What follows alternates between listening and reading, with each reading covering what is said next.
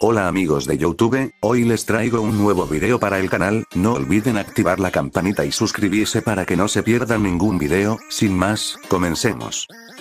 Hoy les hablaré un poco sobre el animal que está causando polémica en todos los medios de comunicación, hoy les hablaré sobre el pez remo.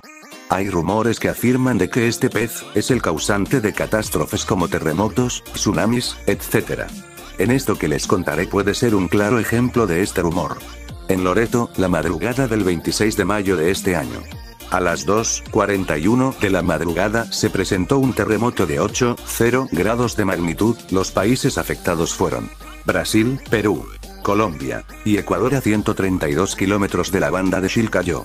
Pero lo más curioso es que tres días antes de que esto pasara, este pez fue encontrado en las costas del mar Mar de Bichayuito en el distrito de los órganos, Máncora, en la mañana del 23 de mayo. En Japón, se dice que estos peces suelen aparecer en las costas antes de los terremotos submarinos.